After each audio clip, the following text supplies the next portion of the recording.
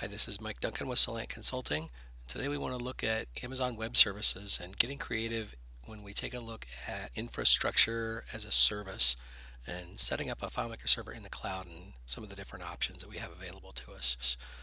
Uh, what we're going to try today is as a follow-up to our quick start guide setting up a FileMaker server in the cloud. What I've done now is I've, I've made an image of that. We're going to have two FileMaker servers both of those instances are going to host a file that connect to a MySQL server on the back end. So the data is going to be the same across both databases. Then we're going to create a load balancer. And so all this is going to happen inside what's called a virtual private cloud. That means this is kind of on its own uh, local network as far as these servers are concerned. And those are exposed through the load balancer one endpoint to us out here outside the cloud. So using FileMaker Pro, we're able to connect to the load balancer. The load balancer is going to determine the health of our servers and route us to the healthiest one. No matter which one of those servers we get connected to, both of those are going to connect back to our single data source. Now this isn't like a best practice by any means, but this is just more of a technology demo to show you what's possible. So let's take a look at our Amazon Web Services Management Console so this is where we created the load balancer and this gives us a single endpoint. So we can see here and we've got it configured with our two EC2 instances. Both of these are running FileMaker server um, and we've set up a listener on port 5003 because that's what FileMaker comes into. So if also if, if we wanted to set up SSL we could set that up here instead of on each of our servers. So here's just to give you a look at the, both the instances that we have running. We kind of get an idea of their health based on CPU utilization network. So that's the criteria for which server we're going to get routed to when we connect to this thing.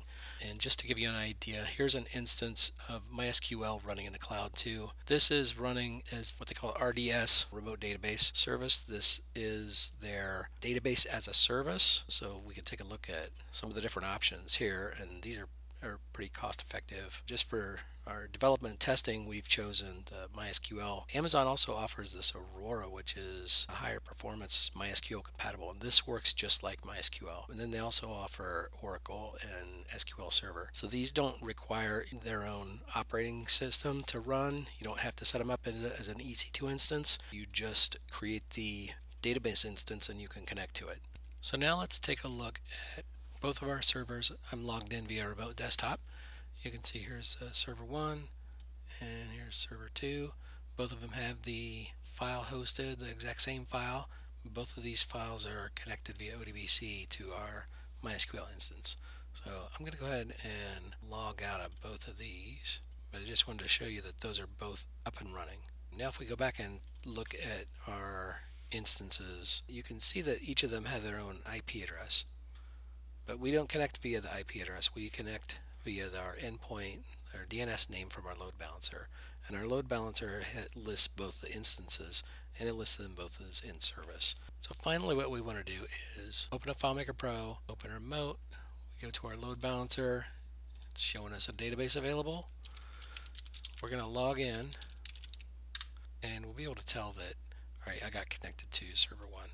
And here's a table with the MySQL data. So now we're going to do something interesting. I can see that I'm connected to the first instance of my server running. I'm going to go ahead and create a new record. Give it a little data, just commit the record, we see how it's created. Now we can see that both my instances are connected to my load balancer and both are listed as in service. I'm connected to the first one, so we're going to remove the first one from the load balancer. Yep, remove, and then you can kind of watch here and see what happens in back in FileMaker.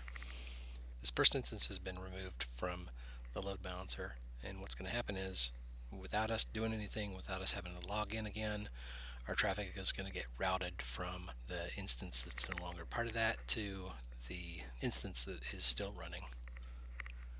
There we go, it just switched over. Now I'm on server 2 automatically. Um, all the records are still there. There's my record that I entered from the other server. So this is just a, uh, an example to give you some ideas and start thinking about infrastructure as a service. One of the next steps could be doing this programmatically. So as your as your load increases over time, you could spin up uh, new servers automatically. I've taken an image of one server. You could use that image to programmatically like spin up new servers and add them to your load balancer. So as your load increases, say during the middle of the day, that load gets distributed across servers and then to save on costs at night as those get inactive, those get shut down. So hopefully this gives you some idea of what's possible and just gets you to start thinking about infrastructure as a service. Thanks a lot. This is Mike Duncan with Soliant Consulting.